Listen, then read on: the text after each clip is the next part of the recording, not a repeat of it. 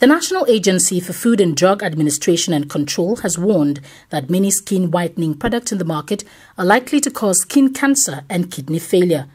NAFDAC cautions that these products, which are illegal and unregistered, are damaging to people's health. Uh, in Nigeria, we have a lot of uh, dangerous use of dangerous uh, chemicals.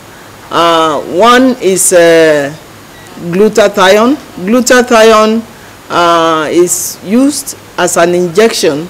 Uh, the people will inject it under their skin and they will be promised that they will be lighter uh, in a week or two weeks. Why are we so concerned about uh, glutathione? Uh, because it can cause uh, cancer, skin cancer. it can cause kidney dysfunction and failure. Uh, and this is what young people don't know. Uh, first, philosophically, I don't know why somebody wants to bleach uh, their skin. Uh, you should be proud of your color.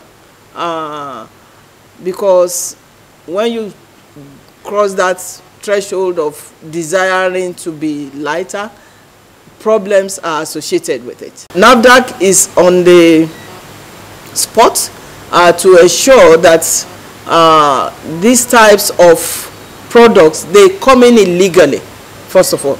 They don't come in through our ports.